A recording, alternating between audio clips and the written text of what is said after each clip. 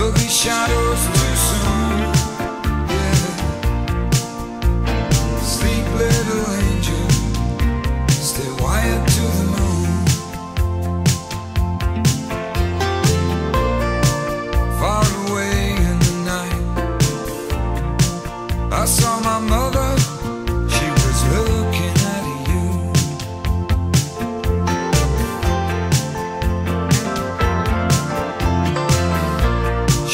to me, my.